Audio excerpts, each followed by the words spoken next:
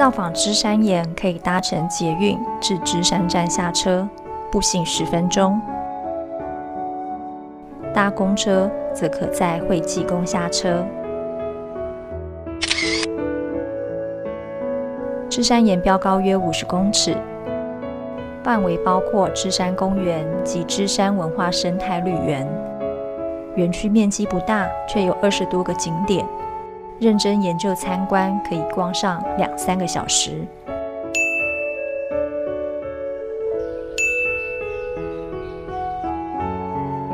芝山岩是台湾考古史上发现的第一个遗址，保存芝山岩及圆山两层史前文化。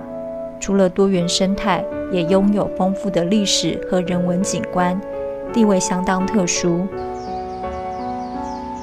为了保护地表植物以及容易风化的砂岩，园区架设高架木栈道，可进行无障碍参访。左侧太阳石步道可以通往太阳石，据说从前有蝙蝠栖息。先去直行走环状步道。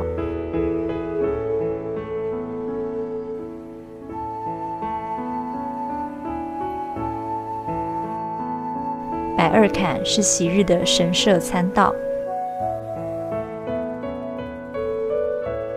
有一百二十阶阶梯。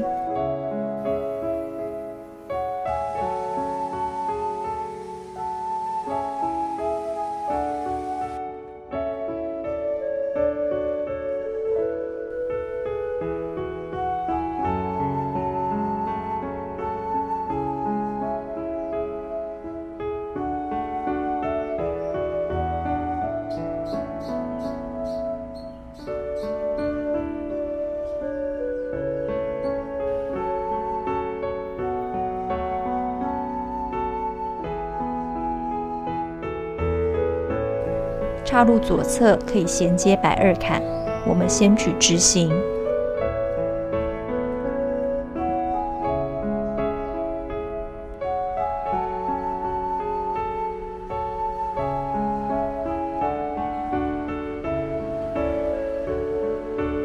不到尽头是公务门，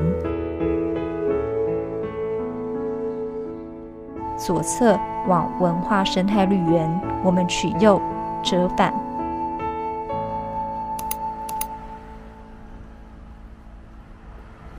沿雨生街走东侧步道。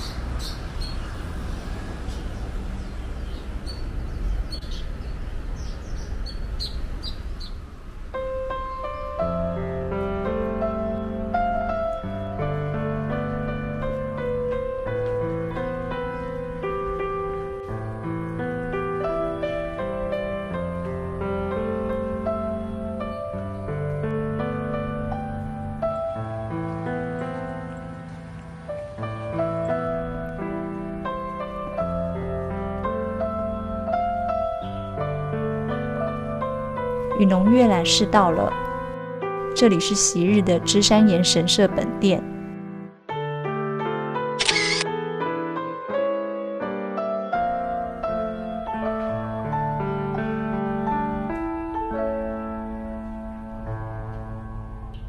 一八九五年，日本人在惠济宫后殿设立芝山岩学务部学堂，教授日语。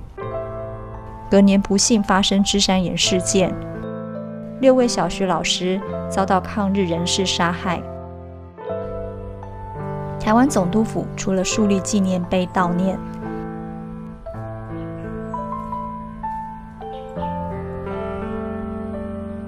一九三零年还设立神社，并于每年二月举办祭拜仪式。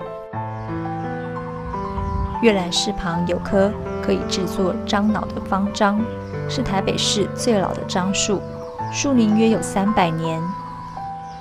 清朝芝山岩植物禁止砍伐，日本时代又是地质研究区域，国民政府时期则被列为军事重地，让老樟树得以保存至今。清朝年间，当地爆发林爽文事件及张权械斗，两次争斗皆死伤惨重。居民于是设立同归所，将无主遗骸同葬。六世先生墓，底下为大寮层砂岩，岩体上有生物活动痕迹的生痕化石。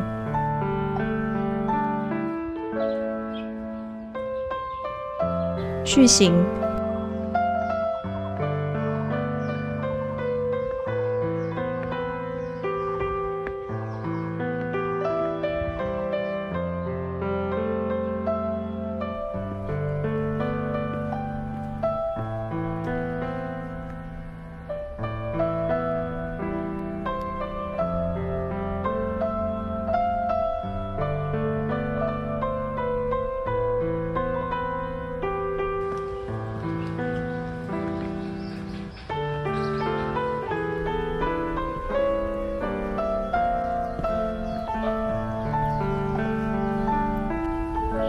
岔路右侧往阳明医院和北爱门，我们去执行。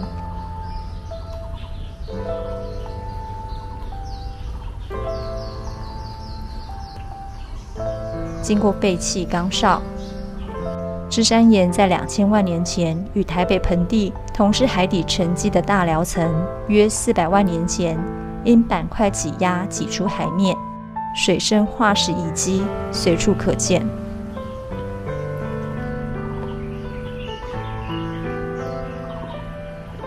取右，穿过时间广场，抵达西炮台。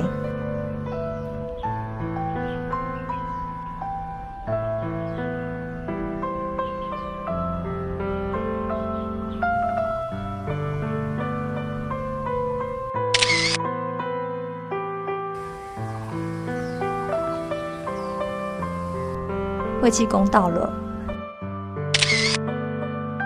惠济宫不仅是三级古迹，也是士林三大古庙之一。清朝乾隆时期建庙，至今超过两百七十年历史。宫内神明横跨释道儒三教，主祀神明有开张圣王、观音佛祖、文昌帝君。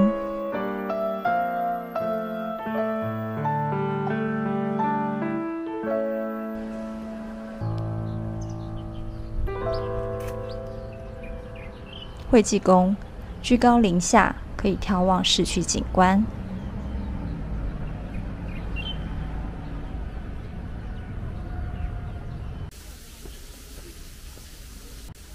下山的石阶步道，右侧有奇岩巨石，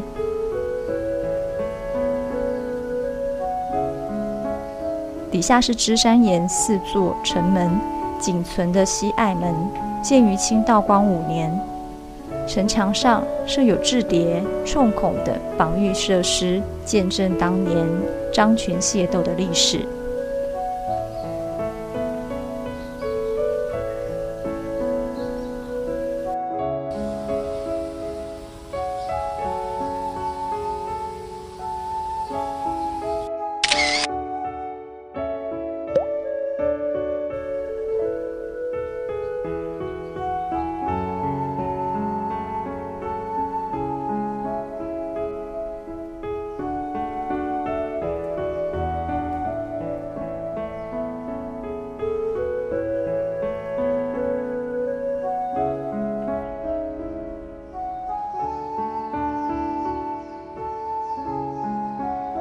离开惠济宫，取右，步行至捷运芝山站，到附近人气锅物店觅食。